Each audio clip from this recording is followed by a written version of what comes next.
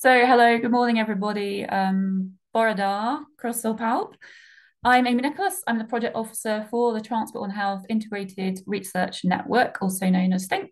And today we're really pleased to invite three speakers to come along and talk about the role of electric cargo bikes in the UK. And they're all coming at it from slightly different perspectives.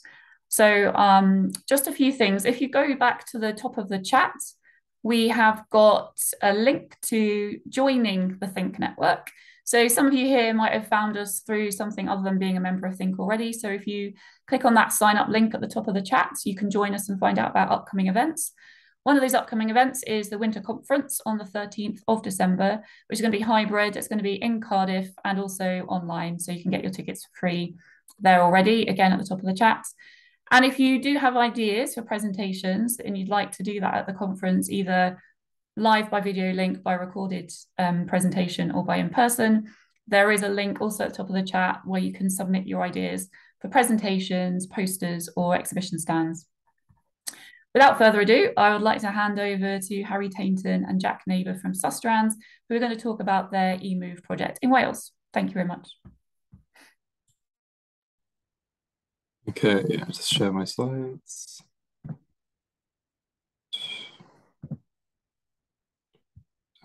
Okay.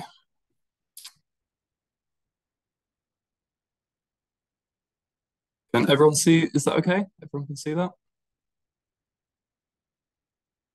Yeah. Yeah. Yeah, cool. Okay, thank you. Yeah, so um, I thank you, Amy. Um, I'm going to just give a bit of a summary into the move scheme. Um, and then Harry is going to then talk a bit more about the statistics and our findings. Um, but yeah, I'll, I'll, provide some context first. So yeah, eMove is a um, scheme, Welsh Government funded, and it runs in five different uh, Wales. So Rhyl, Aberystwyth of Newtown, Barry and Swansea. And essentially, the scheme is just an electric bike loan scheme where we give residents and businesses in those towns an opportunity to borrow an e-cycle or an e-cargo bike for uh, for a length of time. Um, so the idea of the scheme is essentially to see if we can find solutions to transport poverty, so people living in more isolated areas or areas which are just not well served by public transport. Um, so we've essentially chosen those five focus towns based on the Welsh Index of Multiple Deprivation, um, which essentially show which essentially tells us um, which areas are hard, harder hit by transport poverty and other um, things. So yeah, the e-cycle loans last for about four weeks. Um, it's completely free of charge.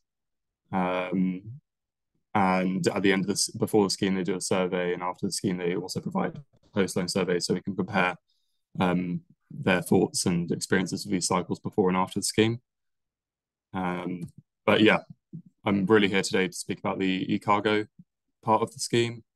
Uh, so that focuses on Aberystwyth and Swansea. We don't provide the e-cargo loans in the other focus towns. Um, and each cargo bike is loaned out to an organisation or business for three months. Although they do kind of typically go over by about a month or so um, just because it's based on demand. Just we're not really going to take on unless there's um, a reason to. So yeah, um, the idea of that is essentially to help businesses move away from reliance on uh, vehicles. Um, yeah.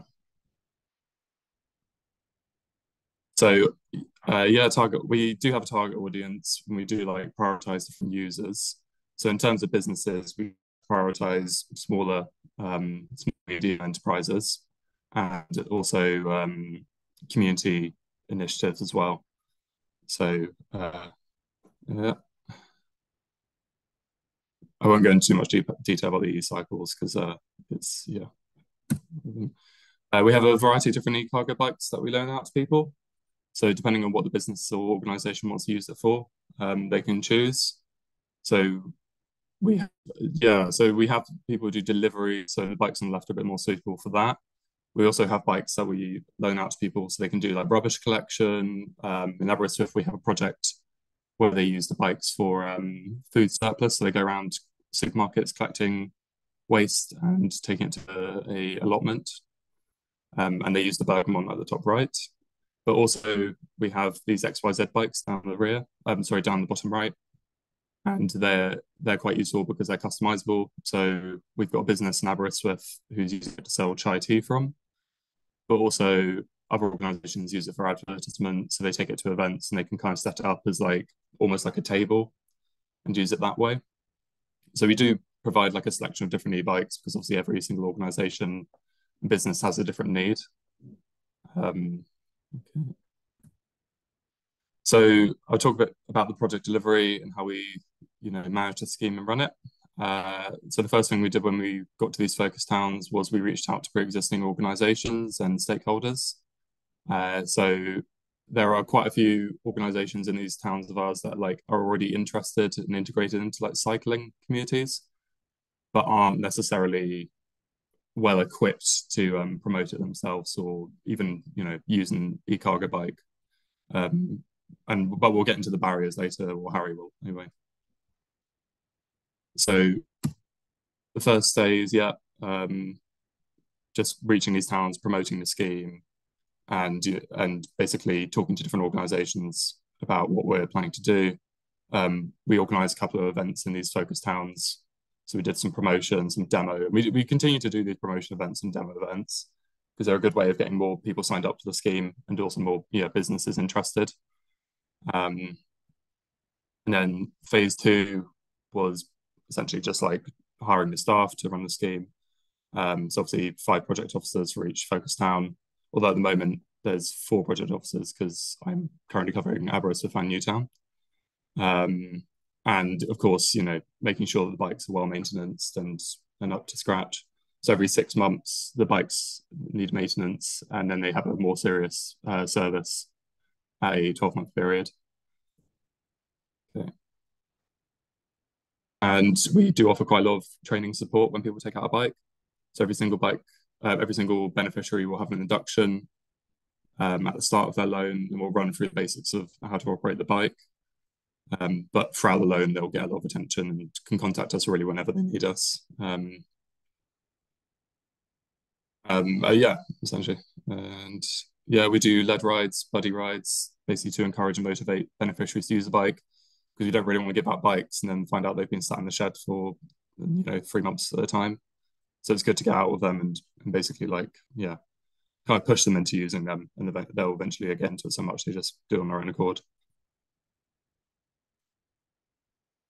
Um, so last phase, the, final phase, essentially to send off our reports to Welsh Government.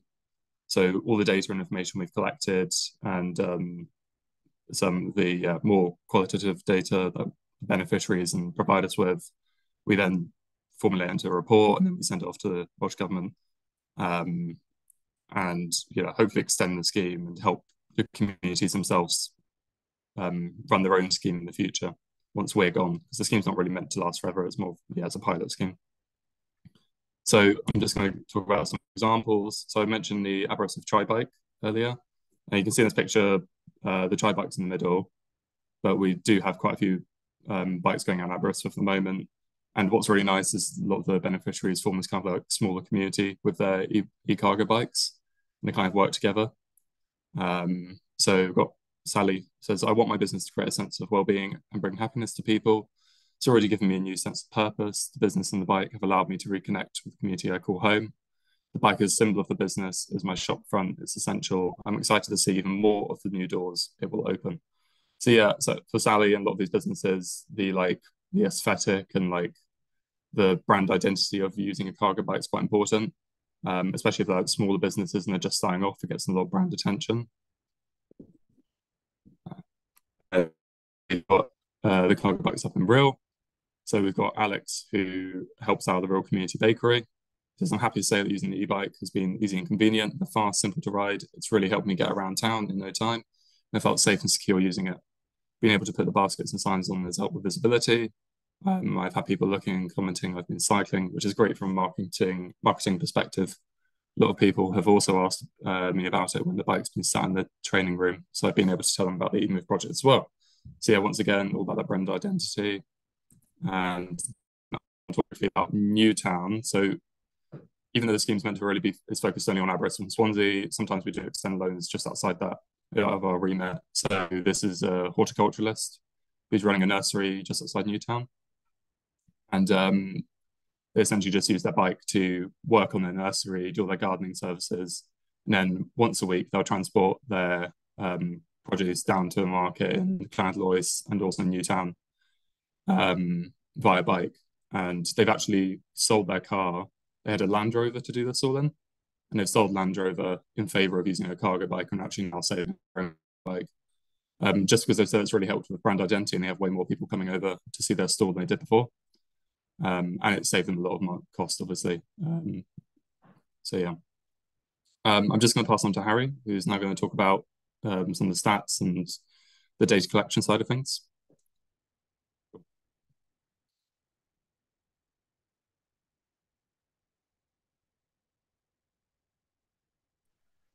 Uh, brilliant. Cheers, Jack. Um, hopefully that's a seamless handover and I'll just talk through this quickly. Um, so my name is Harry Tainton. I'm a senior evaluation officer in the research and monitoring unit. Um, and it's, yeah, my job to kind of get all the uh, data collection for the project that Jack and the other project officers have run really smoothly and evaluate the impacts we can report back to Welsh Government and understand that we're um, doing the good work we want to do and that e-cargoes and uh, make the difference we want to see. So a little bit on the data collection. Um, quantitative, we used a pre and post loan survey that looked at trip purposes, changes in travel behavior, and contributed to how we did a carbon emissions reduction. We also had a startup called C-Sense provided GPS trackers that went on all the bikes. So we could look at the trip lengths for every journey made by the e cargo bikes. And this also went into calculating the carbon emissions reductions.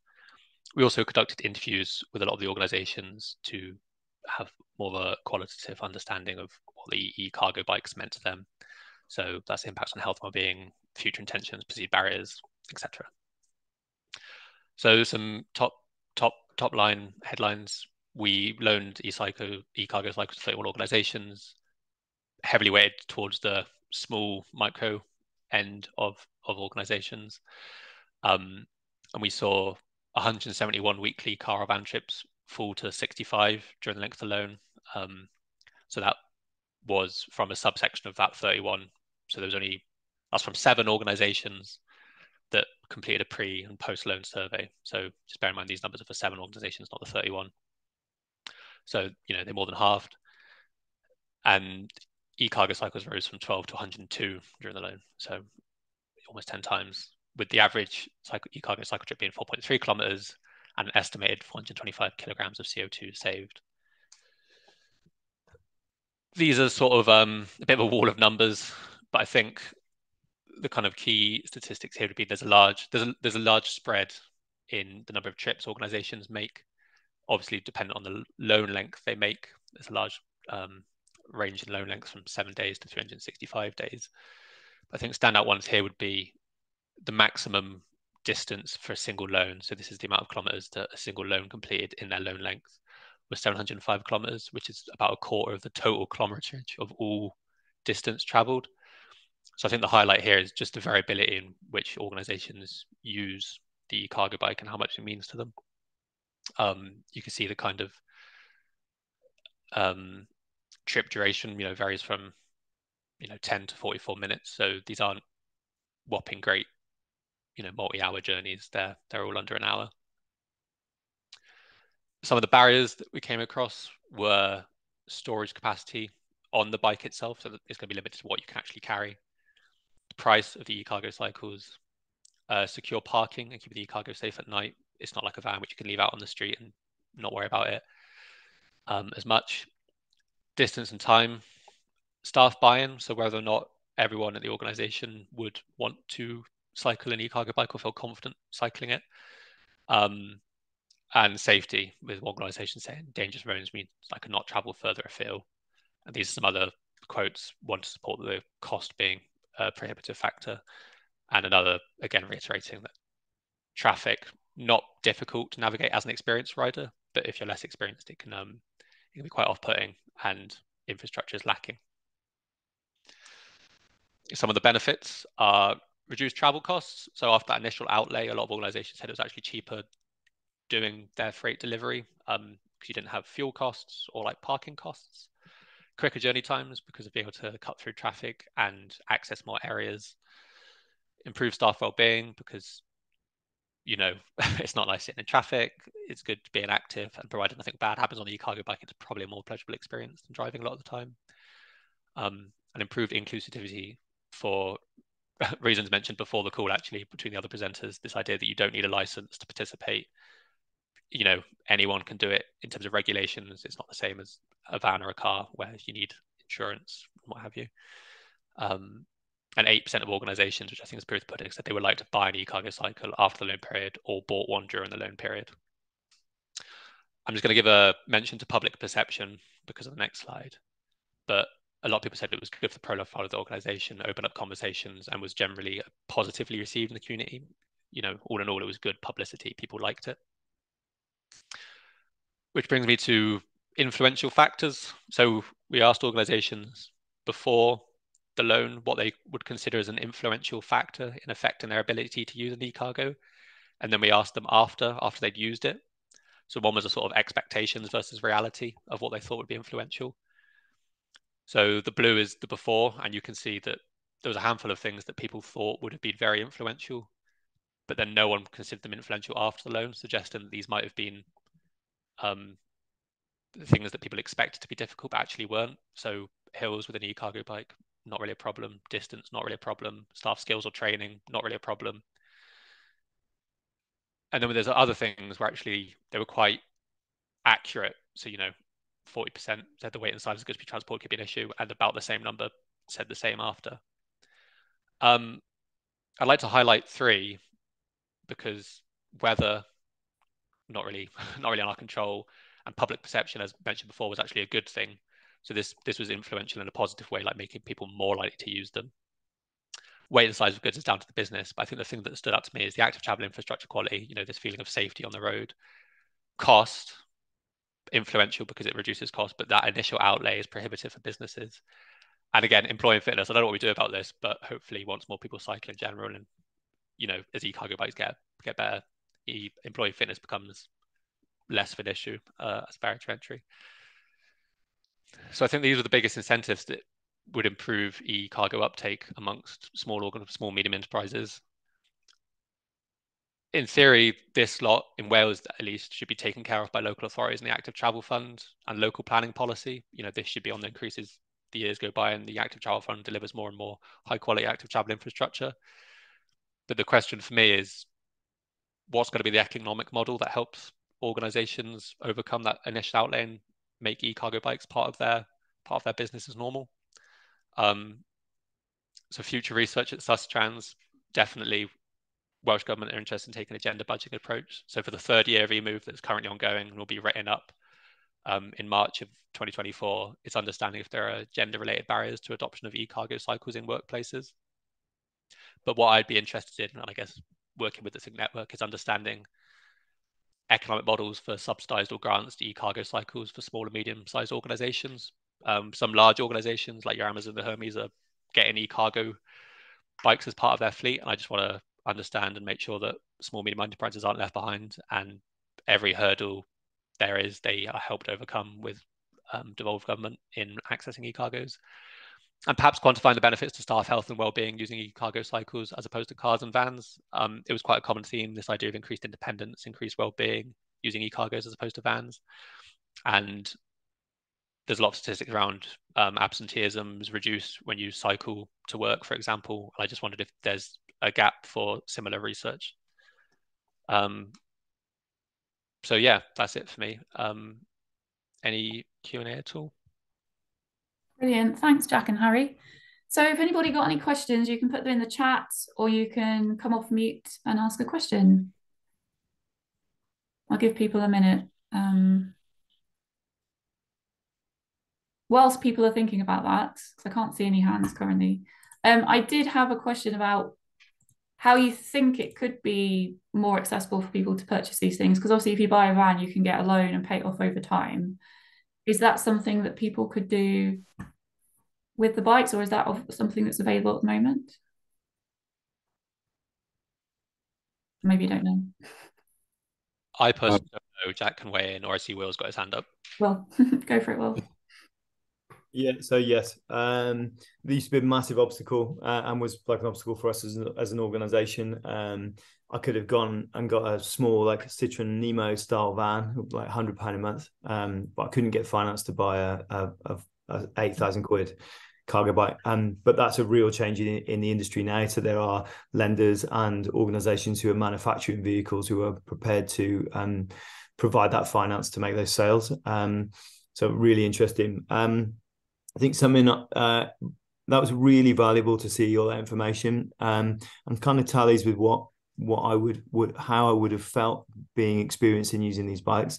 And I think really important is that if there is a role out to people, that there are standards which are associated with that. Um, and what I can say from an industry perspective is that um, there's a bunch of operators like myself it's four of us who are sort of the, the, peak of what we're doing, and we're involved with the Bicycle Association, and the European and UK Cycle Logistics Federations, where we've taken best practice throughout Europe and we're putting together um, standard operational procedures um, and, and, and that expectation that people would have before operating these. So, operator standards. So, as a business, if I've got these, I pledge that you know I'll have this standard of the bike, this standard of training, um, this standard of equipment, this standard of maintenance, uh, and as a rider someone riding that in an organization that I will ride it like this, um, I will look after my bike like this, and I will obey, you know, road laws which are like this. So those are things which are really developing, which I think will um, add a lot of support to these sorts of projects and sort of galvanize that and reduce some of that initial risk. I think for for operators before coming on board. Great, thanks for that insight. Well, we do have a question in the chat. How did you measure well-being? Was it interview or questionnaire? And did you take any more objective health measures? Harry. So we had um, some questions in the survey that had before and after questions on a kind of is it the Griff uh, Reef um, measure of well-being? So you know, do you think your standard well-being is at this level before and after? And then we went into greater depth in interviews um, with participants who volunteered their experience of how their well-being had improved along the sense of increased sense of independence or you know just more exercise and fresh air clear their head um, but nothing objective in, in a sort of no like um, monetized health outcomes nothing nothing like that. Thanks harry. Might be a gap in there for any researchers on the on the call who want to follow up Great. So if we if there's got no other questions, I can't see anyone else with hands up or anything. Graeme, can we invite you to do your presentation now? So Graeme Sherriff from he's got some examples of electric bikes, cargo bikes being used in Manchester. Thanks, Harry. If you can stop sharing your slides, I think Harry, we can swap over to Graeme. Thank you. Thank you. Good morning, everyone. Um, I'm just trying to share my slide. I'm hoping everyone can see me showing PowerPoint. Yeah, thank you. Right, thank you. Uh, well, good morning, everyone. I'm, I'm Graeme Sherriff. I'm a, a reader at the School of Health and Society at the University of Salford. Um, and I, am going to talk a bit about Greater Manchester, but also sort of give some general reflections on, on having been doing research on, on this and related issues for a while. Um, this particular piece of uh, research um, was actually something I did with some colleagues, Luke Blazejewski and Nicholas Davis, uh, Davies, uh, rather, um, in 2020. Um, and as with academic research, sometimes you do this research and then you really want to kind of update it and you don't quite get the opportunity yet, but hopefully that opportunity is coming. Uh, but the, the piece of research we did was very interesting because it was in lockdown and actually there was quite a bit of kind of, of activity around e-cargo bikes as a response to lockdown, which I'll come back to. But I've also been doing research on um, e-scooters uh, bike share and low traffic neighborhoods in Greater Manchester. So I kind of like putting these in the context of that kind of ongoing research, really. Um, the I, should mention there's a report, an academic paper, and I'll, I'll give you a link to those um, at the end of the presentation. Um, for the um, for the academic work, we used a, a, a conceptual framework called multi-level perspective. And in the academic paper, there's a, a, horribly complicated version of this diagram, but basically it's this. It's the idea that there's kind of three levels. There's the landscape, which is a relatively kind of stable kind of a representation of sort of global trends, so sort of sort of uh, digitization, uh, kind of neoliberal markets, and then regime is the kind of the, those kind of um, stalwarts such as the kind of the car, the van, the dom- the dominance of um, of of cars and vans in in, in our economy. Sometimes people call that kind of automobility regime, and then niches which are kind of um, fighting to kind of join the regimes. And and we we argued that e-cargo bikes are a niche. And um, I, I gave this presentation at a conference, international conference, and someone said, "Well, they're not a niche." Or I'm from I'm from the Netherlands. They said definitely the Netherlands, and they're not a niche there. They're all over the place. And I thought, well, yeah, that's good. Um, and I feel you know I, I guess we could be getting to stage. People might argue that in London, for example, they're not a niche because we're seeing them much more. And I, I, think since doing this bit of research, it's grown so much. Um, and that's why, you know, really want to update this research a bit, but it's just grown so much, even what I see on, on, the, on the roads in Greater Manchester. And I know much, much more in London, having just heard the previous presentation. Um, but during during lockdown, then, in 2020, there was two um, services which which were started in Greater Manchester. Well, well, this one actually is just on the outside of Greater Manchester in Todmorden, uh, Cargodale, where they were looking at doing deliveries in a. So for those who don't know, Todmorden is a small town. It would be seen as maybe peri-urban or rural. Um, so hilly in cycling terms, hilly basically. Um, whereas Chorlton, on the other hand, is an area of Manchester which is nice and flat in cycling terms, um, and where there's lots of um, kind of thriving local businesses. Um, so the there was these two schemes. One, the Chorlton bike deliveries, you see here. This is a recent um, newspaper article about them starting in 2020 and really growing into a, a, a much more active uh, small business um, who do all sorts of things from deliveries, but also kind of community services or community contributions rather with this kind of trishaw uh, service taking people out and about, which is great.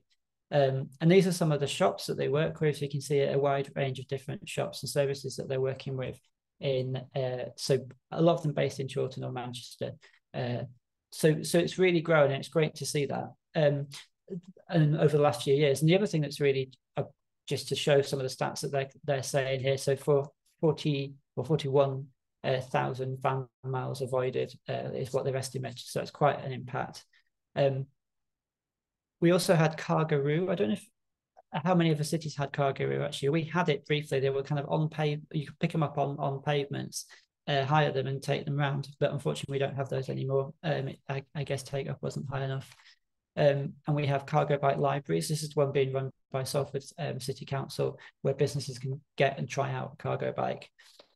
Uh, what we've also seen massive changes in the, the bigger companies uh, engaging with cargo bikes, and we see now on the streets um, and, more so in London, uh, Amazon and UPS uh, making deliveries by these vehicles which are, are pedal powered, um, e assisted, um, and I think we can we can estimate that this is about companies partly trying to be green, appear green, but also trying to cut costs and in the in the climate as well of things like the, the low emission zone that we're seeing in London, they recently introduced, and in Manchester there was discussions about that, but a decision hasn't quite been made yet.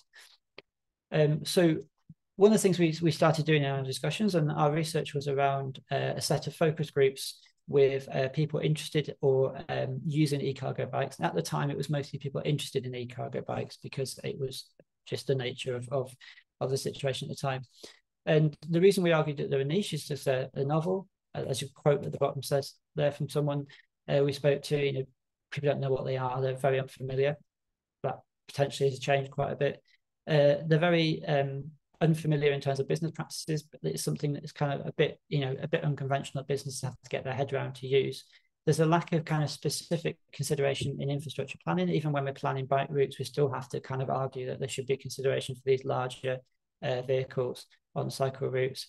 And that the price we had a big discussion about this. They you know they're not expensive in the grand scheme of things but because there's such a, a developed second-hand market for vans they often are uh, much more expensive for that initial capital cost and um, more difficult to get finance but as we heard in the last presentation that's changed it's now easy to get finance um, in some situations so that's great news.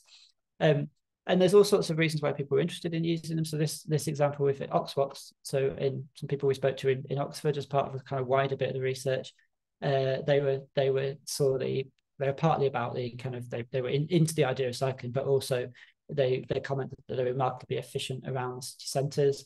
Um, another uh, interviewee told us that they were uh, could use them on hospital sites because they had kind of internal distribution tunnels where you couldn't take vans. So they saw a use for e-cargo bikes to do that, which I found really interesting. Um, but you know, we also had to be realistic that people say, well, we're thinking about using them, but we're not really sure uh, because of the range and the volume that we can carry. And I think that's you know we just have to be very aware of that. But I think over the last few years, we've sorry, the wind is suddenly really noisy by the window here. Um, last few years, we've we've really seen um, some examples where the you know the the range and the the volume, the, the, the capacity rather of of these vehicles has really improved. Um, but I think also when we talked to people about, you know, would they would they try e-cargo bikes? They were saying, well, actually, if you're not kind of um, used to cycling, um, you're probably not going to want, want to do it. And I think this is where it really emphasised that there, there, are multiple barriers to cycling. We we know them all. Really, um, the main one is road traffic. And actually, people were saying, well, yeah, I feel unsafe on a bike, but I feel less safe on an e-cargo bike because it's unfamiliar, it's a large vehicle, it's more difficult to maneuver, and so on. So we saw that real challenge of, of, of winning people over towards these uh, vehicles. Um, and even some of the, the really confident people we spoke to said that they wouldn't always take the biggest bike out, even if it meant they could take more stuff with them, because they were just sick of, uh, you know, the aggravation in the traffic of trying to maneuver some of the larger vehicles, uh, which which I found really interesting. Um, there were also kind of cultural when we are speaking to people about would their company introduce more e-cargo bikes and try and um, move people away from from vans onto e-cargo bikes. Uh, you know, people say, well, it, it, we we wouldn't want to give the impression that it was demeaning that people were asked to, you know, it was like a, a you know the opposite of a promotion really to be asked to go onto a bike. Uh, so some really interesting kind of cultural things. And I think this this quote, which became the title of the paper we wrote, why would you swap your nice warm van when you can eat your butties and listen to radio? Why would you swap that for a bike? Uh, sort of just emphasize it's not just about carrying capacity. The van is not just there to carry cargo. It's actually like somewhere where people have been spend most of their day. They've got stuff in there. They've got their lunch sandwiches, the radio, and so on. Uh, so it's not just about how much a bike can carry and how much it can co- uh, cover, how much space it can cover, but also about that kind of sort of the, the van being the home you know, the, the office, the, the mobile office and so on, uh, which I think is a, really interesting challenge.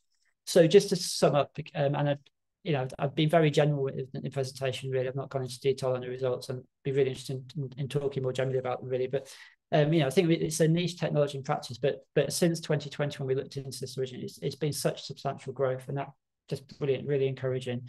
Um, we didn't really demarcate the kind of personal and business use, but I think they're quite different uh, for personal use, if you're buying it to, to transport family or transport goods uh, in your personal life, um, I think that there's some different barriers. And, and, I think one of the main ones I hear from people is storage. Uh, is uh, you know living a, a terrace house, for example, there's literally nowhere to put one, so it's a bit of a different challenge. And that's why those CargoRoute bikes, but potentially still really good. Um, I think the we spoke to people who wanted to try them out. So that opportunity to do things like the cargo bike libraries, those sort of approaches where people can try them out for a bit is really valuable because it, it is quite it is quite a big investment still, um, and you know it's a big change for people. So I think it's uh, really important to be able to try them out.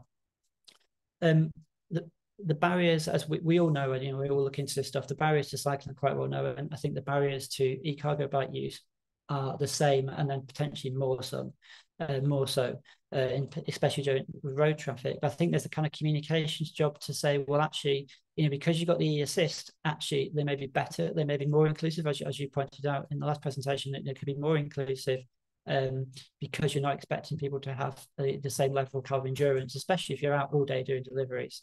Um, but those barriers are not just practical. It's not just about road safety, and it's sort of, and it's not just about range and cargo. It's also about do people want to ride a bike? Are they prepared to ride a bike? Uh, are they going to swap their van?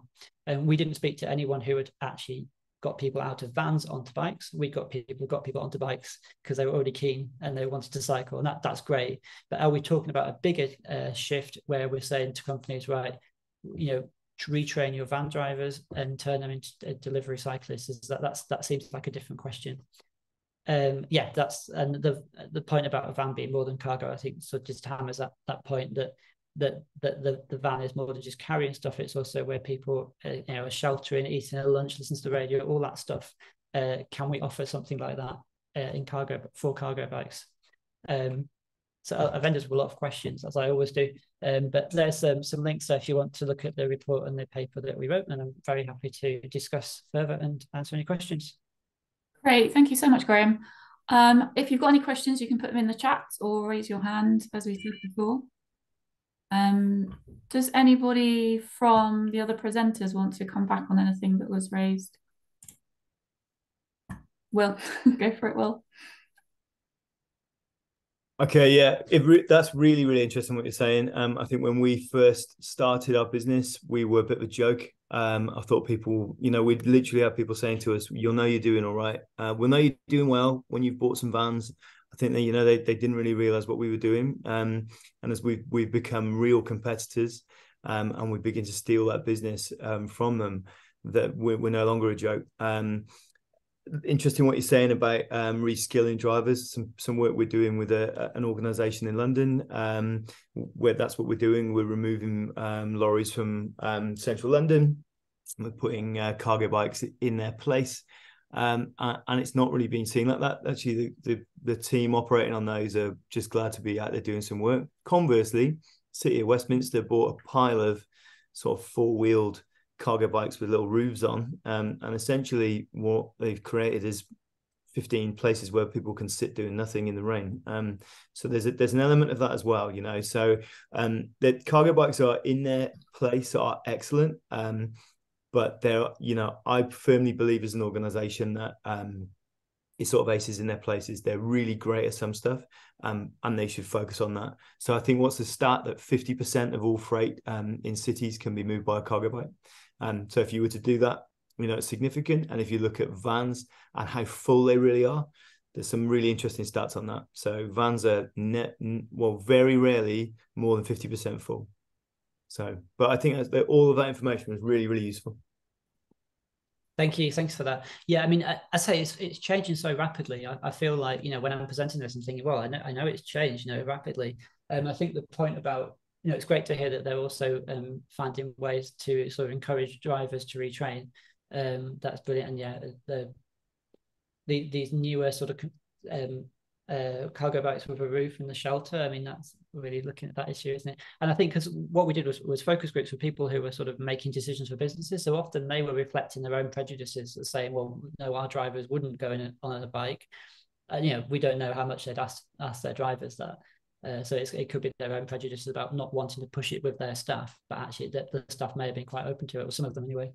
They're old industries. These are old industries which have been driven by the same people forever, um, and now things need to change. Um, but ironically, if you go really, really far back, and remember, you know, your butcher or your baker, they had someone going out on a bike to do the deliveries. Okay, so there is like a bit of stuff in the past we can look to as well. Yeah. Great, thanks. Does anyone else have a question? I can't see any questions in the chat. If not, we'll move on. Could I could I ask a question? Yeah, go for it. Um, yeah, um, I'm just curious. Um, I'm, I'm, we're in um, Sydney, um, and the you know we're we're way behind where you guys are. But one big issue is infrastructure. And can any of the speakers just give a bit of a a comment on you know, what are the infrastructure implications? Are you running these on in bike lanes or are you running them on the road? How, where are they operating? Yeah, I'll just come in on, on that quickly uh, first. So the comments we received were, were relating to the kind of width of cycle lanes. You get some very narrow cycle lanes, very narrow turning circles.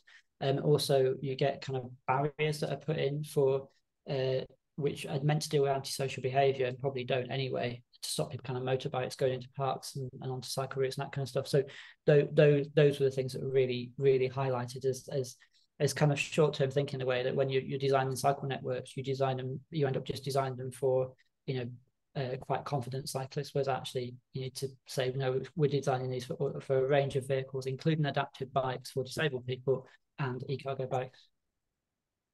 Yeah, I mean, can I add on that? Um, that from an operational perspective, we would train our riders and expect them to be able to ride a bike on an A road, and we'd expect them to be able to use the cycle infrastructure.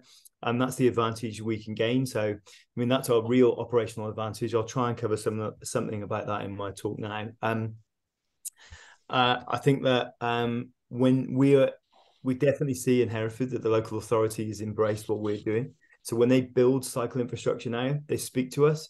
And if you look at the bollards on some of our cycle paths on the left hand side, one of the bollards will be slightly wider, and that's to enable our bikes to go through. So um, definitely the advantage to early adopters now is you can use everything. Um, but that's going to be interesting to see how the industry moves now as the cycle lanes become more cluttered. Will they need dedicated lanes for cycle freight, or who knows? So, but yeah, um, good, great question. Thanks. Cheers. You have one more question in the chat. Um, what is the average range on an e-bike? Anyone can chip in there. Uh, depends how big your battery is. Depends how hard you're running it. Depends how hilly it is. Um, uh, depends how much assistance you want, but um, it will be probably more than enough than you need. So you could probably run it on the biggest amount of assistance with the bike fully loaded, and you could run it for 25 miles. Anyone else have a bit of feedback on that? Sounds like it depends. one of the one of the answers. Stephen. Yeah, thanks, Amy. Um, yeah, I'm Steve. I work for Sustrans Cymru. Uh, obviously, I've got, got a couple of my colleagues on the, on the call as well. Um, just a question to, to the panel. Um, we've been part of a roundtable with Cardiff Council, and they've they've actually set aside you know, a reasonable amount, fifty thousand pounds in this year's budget, to foster more cargo bike usage. So we've been trying to you know help them work out the best way to spend that money any ideas of what they would do? I mean, some of the things floating around is, you know, they could they have a locker in the middle of a city centre where they maybe buy one or two cargo bikes to have them there. Um, you know, offer short-term loans to to businesses, work with specific businesses. You know, there's lots of different ideas there, but you know, they still haven't spent it. So, any any ideas that we could feedback? You're on mute, Graeme. If I'm muted. So, from from um, the point of view of pe- the people I've spoken to, I would say that there's kind of libraries or kind of short term loans are really important, and some kind of, for want of a better word, training. I mean, you know, to give people confidence. Those seem really important. But um, those are just my starters for ten. I'm sure people have other ideas. Anyone else want to chip in at this point? Sounds like storage is a general issue unless you've got your own big company with a lookup somewhere. Um, so if we we're kind of a little bit short on time, so if I let Will go, I know he's been giving you the, his wisdom already, but if Will can give his presentation, then we can mop okay. up any questions at the end. Thanks, Will. All right. Um,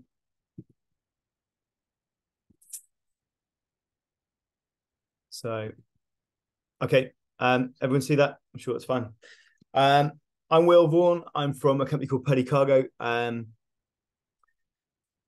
we do we have an award-winning pedal-powered infrastructure company, right? So we do all sorts of stuff by bike. Um, that can be parcel delivery for companies like I know Yodel, DHL, could be trade waste recycling, um, could be inner city advertising, or we we would hire rituals out as well. So I'm going to go through a bit about how we got to where we are, maybe use a case study, um, and then there's lots of pictures, so if you're getting bored, at least it's going to be nice and colourful for you. Um, so how am I going to do this now? Um, right, so here I am. This is us 17 years ago, and we launched with my best mate. We launched a rickshaw company. So um, we've both been doing some running some expeditions, doing stuff like that. Had a few beers. Thought wouldn't it be great if we could get a rickshaw to the next pub? Turns out no rickshaws. So we bought two rickshaws, licensed them as Hackney carriages, um, and the idea was we wanted to, people to tip us what they thought it was worth for a trip. So um, just a sort of idea. We wanted to get involved in green transport, wanted to see what was happening. Um, and it worked pretty well. Here we are six months later. Um, we've had our like thousandth customer and we paid off our, our initial investment. Um, but that just grew and grew and grew. Um, so pretty soon we were doing delivery work. Um, and that was all sorts of delivery work, maybe for council, council post, bits of last mile people, stuff for bakeries.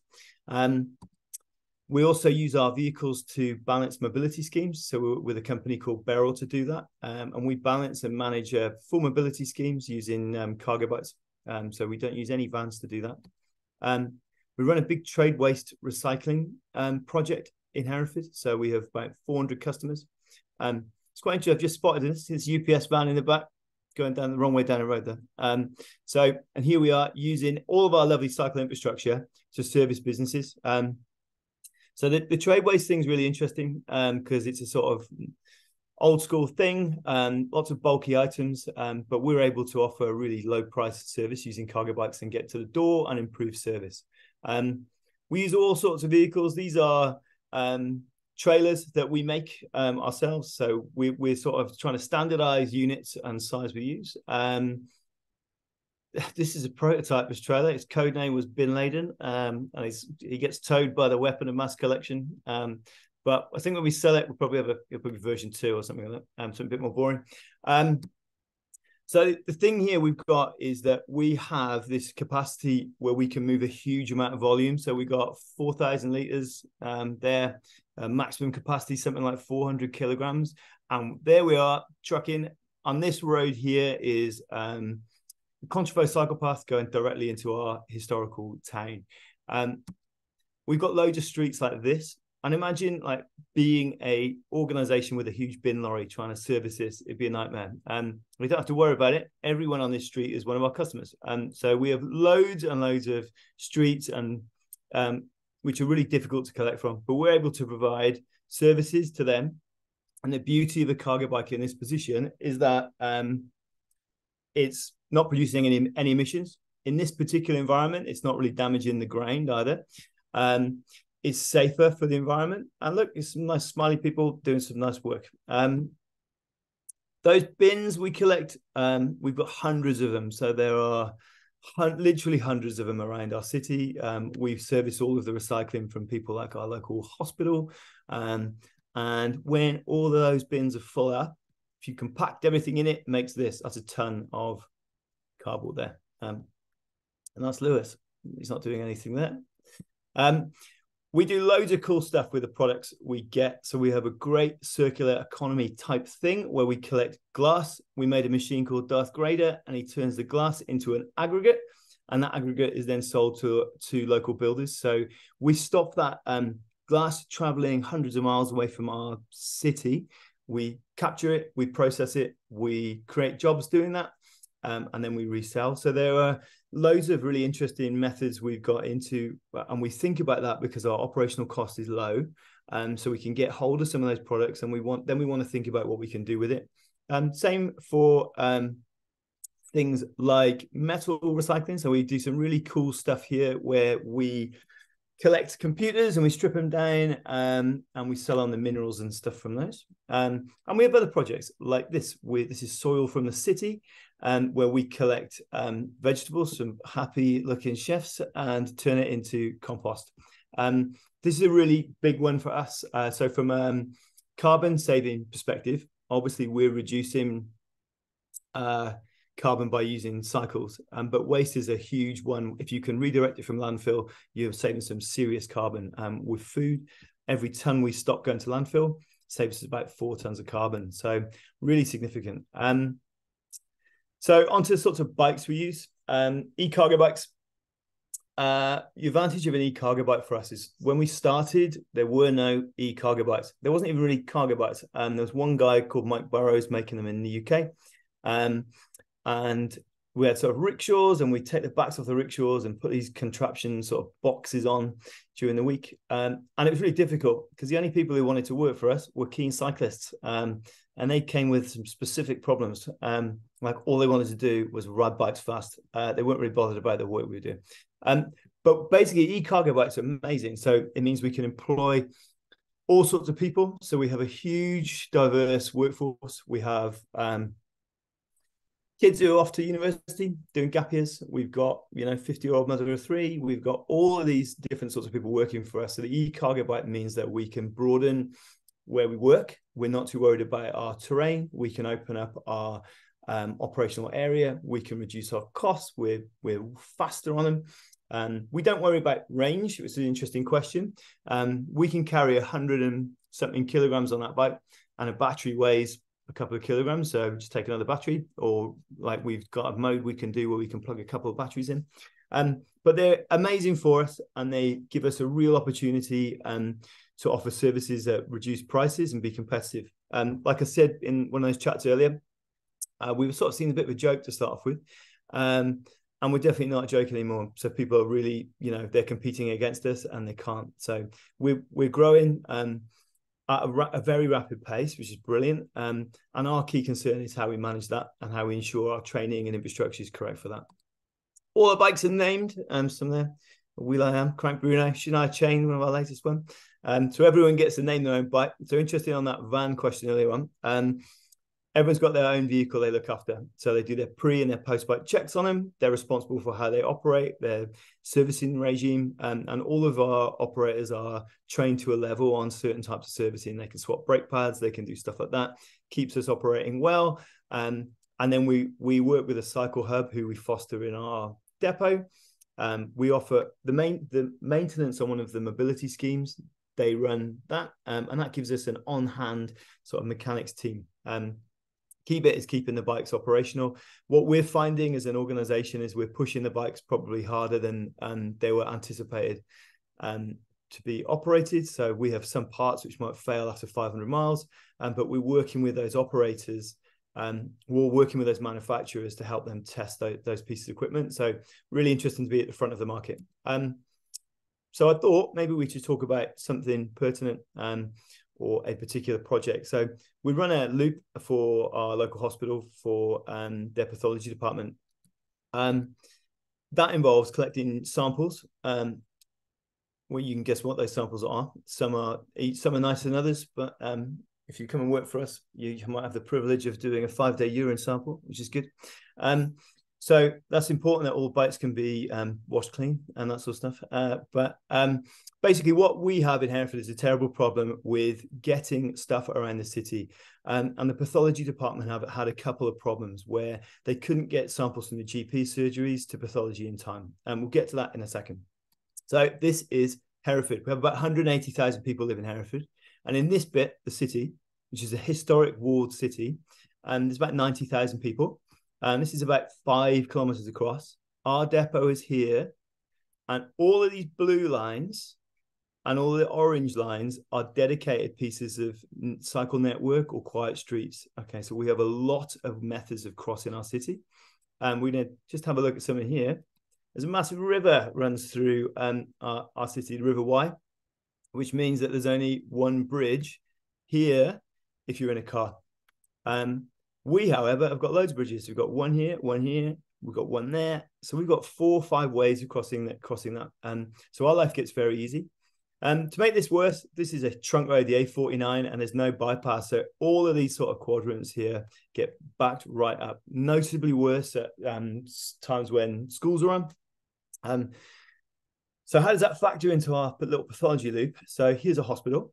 Um, here are all the GP surgeries. Um, here's our local authority building, and here's their buildings as well. And every day, a van was driving, or two vans were operating full time, driving around here, collecting these samples twice a day and getting them back to this red dot. So samples and post.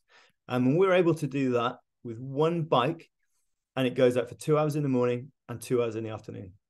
Um, so we're improving their service, we're reducing their their costs, um, and also it's just a sort of much more effective way of doing it. Um, so the pathology department, how that's operating is we've got a team will go in there. We're authorized and signed off to have access to post rooms and things like that. So we've gone through quite particular sort of security with them, which gives us the direct access to do that. And we work directly with that uh, pathology department.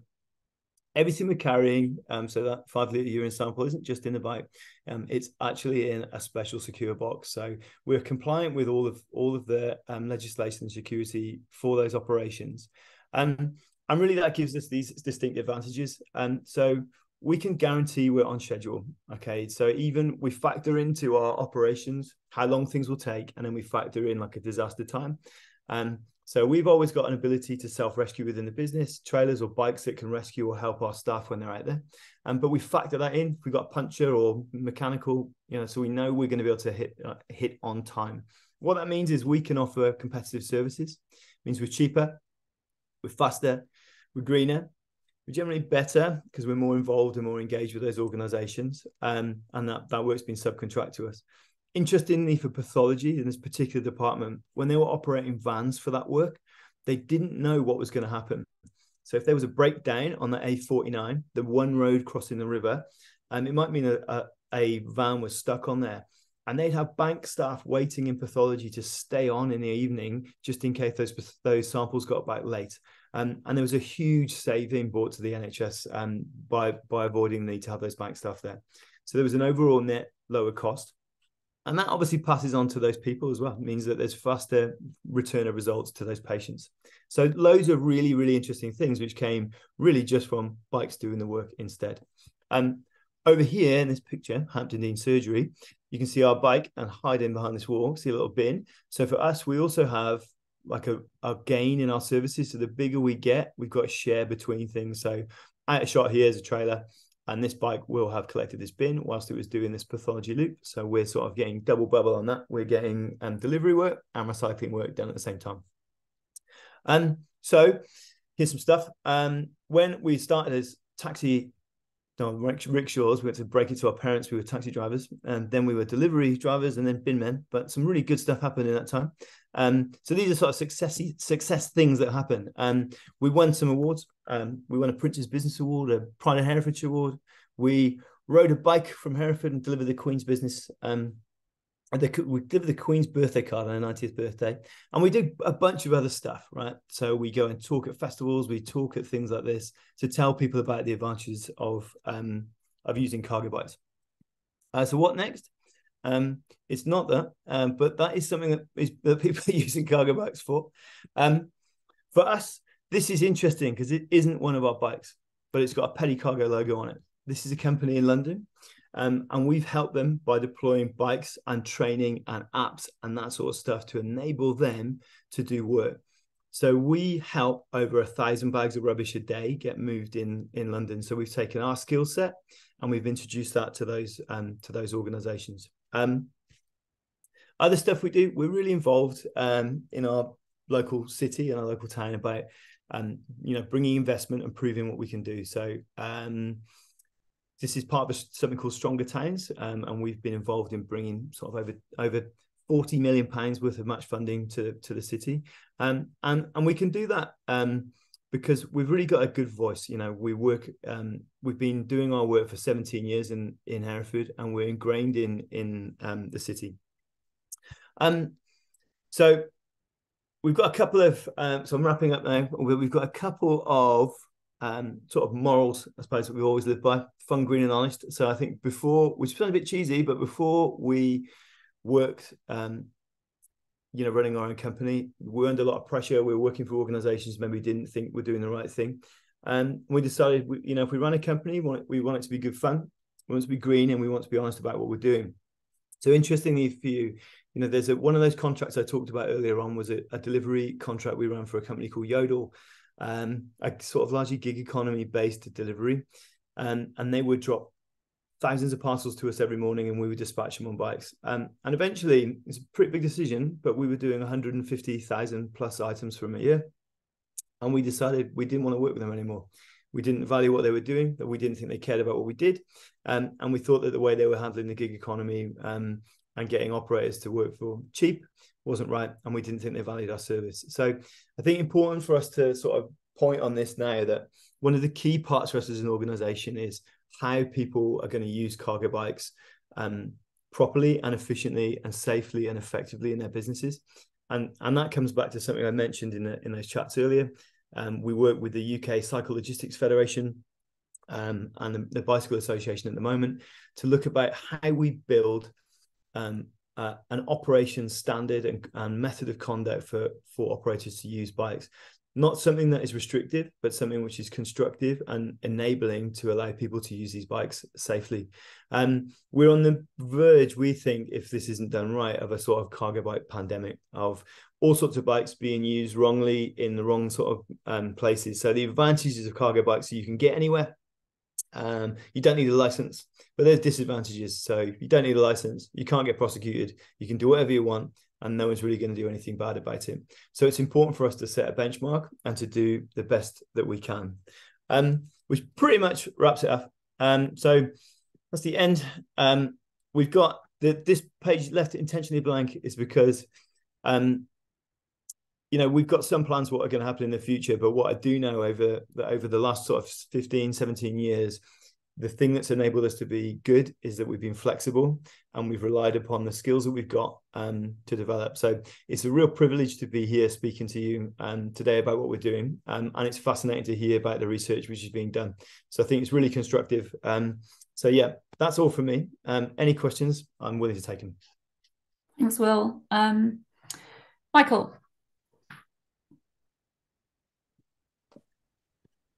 Thank you. Uh, well, thank you everyone for really interesting uh, presentations. Uh, I'm from Sydney, by the way, uh, like my colleague uh, Stephen. Um, my question to Will is um, about whether the cargo is best in front of the rider or behind the rider. So I noticed all his bikes have the cargo in front, but uh, yep. the Armadillo quadricycle has the cargo behind. what's it? What What are the advantages of in front or behind? Right. So we do tow, we tow trailers, so that that way is behind. And if it's in front and the box is big, it's quite easy to get that through a gap. So it's easier. So we have a less, uh, we have a low hit rate on bollard, bollards, I would say, on something that's in front of you because you can see it and see where it's going. Um, and another advantage of physically operating with it on on the front of the bike, if you do multiple deliveries, is as you stop the bike, you're you're actually getting off the bike to the front of the bike. So, you know, there's those sort of micro bits of saving. Um, we can see the cargo if it's in front of us as well. So if you've got an open cargo bike, um, it's easy, you can see that. Or if you've got children in there, um, for instance, you know, there, there's an advantage to it. Um, in the physics, I don't think there's much in it, um, pull or push, um, really. Um, and for us, what we think the, the the biggest next step for cargo bikes is being able to tow with a trailer. It's, it's, it's the quickest and biggest way you can improve your um, improve your capacity, double the size of your fleet without um, necessarily impacting massively on cost. Uh, Thank Steve, you. Thank you. Stephen, if you want to go next. Yeah, um, that's really, really interesting, Will. Thanks, thanks for that. Um, on the cargo bikes, and obviously you had some there, like the bin laden trailer, which would look like they could potentially carry like quite a lot of weight. But there's a there's a legal limit, right, on the I think it's 250 watts for electric mo- electric assistance. Is that a problem? And um, you know, do you think it should yes be raised? No. yeah, so there's, a, there's a legal limit between the, the the combined assistance of a trailer. So so there are some trailers which are electric assist, which are tag along. So there is a legal limit. Um, I think that um, it's not necessarily that much of a problem. So for us, pulling 400 kilograms is not a problem. Stopping it is right. So that that's the thing. Legislation needs to be needed for ensuring that, that you know it's safe and you can stop those vehicles effectively. Um, if you were, if I had a nice walk around London tomorrow, I would tell you that 60% of the vehicles I saw were illegal. I would tell you that they're operating illegally. I'd tell you that there are big manufacturers who are operating illegally and selling. I would tell you that some of those four wheel bikes should are not legally allowed to be on the road, and what they're hoping for is legislation change, which enables them to go from not being a pedal assist to just being a low powered electric vehicle. And that this is some stuff which is coming in the future. I think in five to ten years, maybe there will be vehicles which are are doing that, maybe carrying 400 kilograms, doing 25 miles an hour used in cycle lanes um, or 25 kilometers an hour, not not pedal assist. And I think there's there's potentially a place for that. Um, but at the moment, I don't think that um, I don't think that actual power assist is is a problem currently. Harry, do you want to go next? Uh, thanks. Yeah, there's maybe two questions. I apologize, but it's basically off the bat that was really interesting. It just kind of really got me thinking. So Will, I mean, it seems like you're very much like kind of maybe I'd say early adopter, maybe use a different term, and you are probably years ahead of where a lot of other organizations are with e-cargos, and it's really great to see. And it's also nice that you are like bottom up rather than like a large existing logistics company that's incorporating e-cargos as part of their fleet.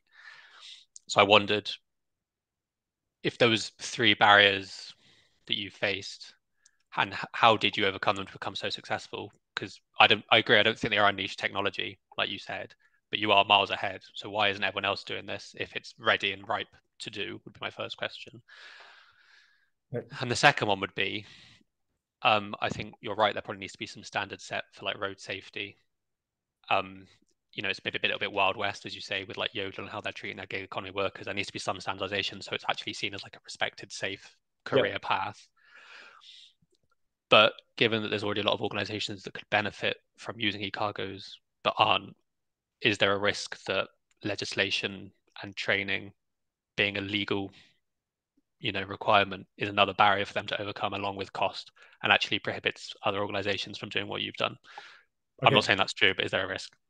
Right um okay first question. I would say that um some of the biggest barriers that have that we've come across in growing are cost um definitely cost of buying bikes like uh cost of running them cost of you know there's been there's a maintenance failure where'd you get a motor from? You know, the, the market was too small at that point. Um, so it was hard for us to get spares and parts. No one actually made these bikes. Um, so those were, were big things that the, the technology wasn't there. That's what we've seen in trailers and things now, which is why we're making our own because you know we actually we can't we can't find anything that does what we need to. So we have to we're at the front of the market. So now we manufacture it. But I think for us, um, definitely the the cost of things. I think a perception of, people. So I think that there was a that project with pathology, you know, we it took us probably a year, 18 months to actually get that off the ground. And we were having meetings about, you know, GDPR, about how we would all of these things about um the safety of the sample, you know, and you always come down to someone saying, Well, it's a bike, you know, what if some steals it?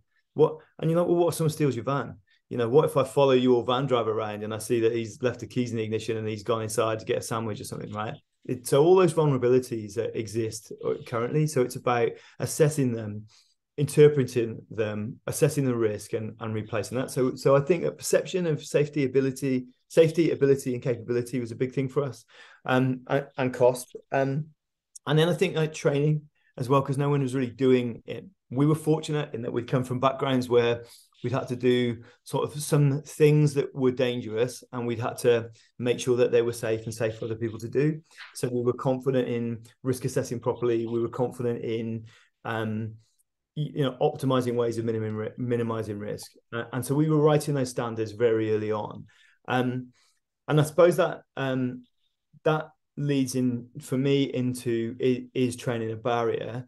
Um, when we talk about this from an industry perspective we don't want to create something that is a barrier. We want to create something that enables um, people to do things. So you get someone on a bike and we'll train them, and you give them a basic piece of advice or something really basic about how you put the bike on a stand. You know, make sure it's facing uphill, and that stops the bike rolling off a stand into the car into a live carriageway. You know, like really, really basic things, which are actually about operate operational safety and about um, getting the most out of the physical item you've got to do, do that delivery on or, or use it. So these are not things which we think should be prohibitive, but they'll be prohibitive to large organizations because what they will have to do is put in a dedicated training network and they will have to put into that somebody who's got their name on it saying i'm responsible for this so when you so we've signed up to these conditions and if you see my four-wheel cargo bike parked on a pavement you'll know that it's been pedaled up there because you can't push it up there, and I'm liable for it. Um, and that's really, really important. So we want to create a, a group of people and a, a, body of people who want to set examples with this. When you'll never solve everything, but what we need is a, a good amount of people setting a, solid example.